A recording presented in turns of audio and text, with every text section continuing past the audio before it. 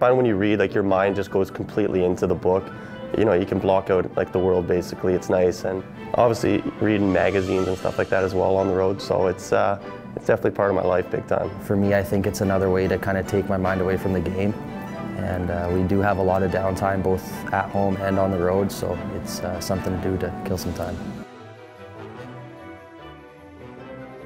Reading's important, and you know you need to you need to obviously know how to read and uh, expand your vocabulary. You know, it opens so many different doors. Like, you know, uh, if you're curious about anything, like it's, it's, it's easy to just pick up a book and read it. It's always something that you can continually improve on.